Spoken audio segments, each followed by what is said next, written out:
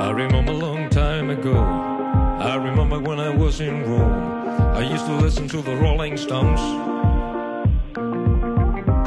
Now I'm making my own songs, and I've started to record, and I become a so fucking local.